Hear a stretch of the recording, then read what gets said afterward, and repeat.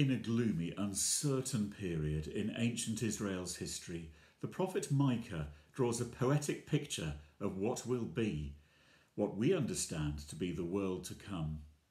He says this They shall beat their swords into plowshares and their spears into pruning hooks.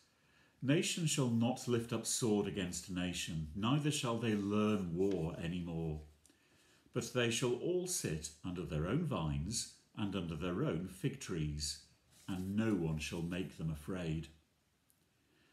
Lounging contentedly under your own fig tree with lots of shade, plenty of food, feeling happy and contented and open to the good things of life that God gives us is a pretty good description of being safeguarded.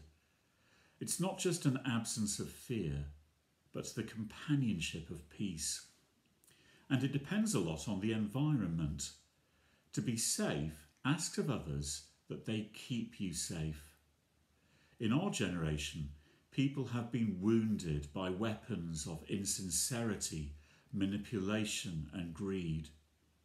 Our role is to beat these weapons into the heart shaped ethic of love, of generosity, of delighting in giving someone all they need to become the person God has called.